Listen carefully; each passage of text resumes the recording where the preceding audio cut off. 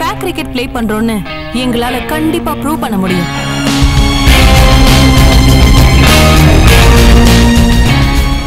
உங்க மேல கோடிக்கணக்கில் கொட்டியிருக்கேன்.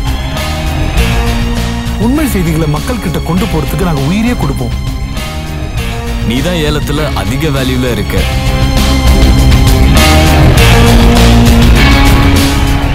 சென்னை அணி ரெண்டு தடவை ஜெயிச்சாச்சு. தொடர்ச்சியா அவங்களே ஜெயிச்சா போர் அடிக்கும்ல. கொஞ்சம் மாத்துவோம்.